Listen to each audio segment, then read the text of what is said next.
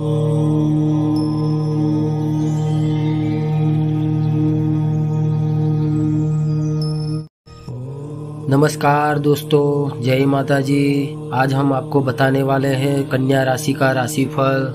तो आइए जानते हैं कन्या राशि में क्या क्या लिखा है आपके जीवन के बारे में। इस महीने आपको दूसरे लोगों से अच्छे संबंध बनाना सीखना होगा।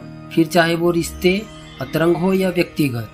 दूसरों से विचारों का आदान प्रदान करना, आंतरिक विचारों या भावनाओं पर व्यक्तिगत विश्वास भी इसमें शामिल है। महत्वपूर्ण पत्रचार और संपर्कों को अभी नजरअंदाज न करें। अगर लक्ष्य को पाना चाहते हैं तो किसी की तरह लापरवाही से बचें। आप इस समय अधिक उत्सुक और सतर्क हैं। हालाँकि सामाजिक कार्य आपको व्यस्त रख सकते हैं। आपके भाई, बहन, पड़ोसी, रिश्तेदार, दोस्त और सहकर्मी आपके जीवन में सामान्य से अधिक महत्वपूर्ण भूमिका निभाएँगे। तो दोस्तों, बस कन्या राशि में इतना ही। आगे मिलेंगे। फिर एक राशि लेकर। धन्यवाद।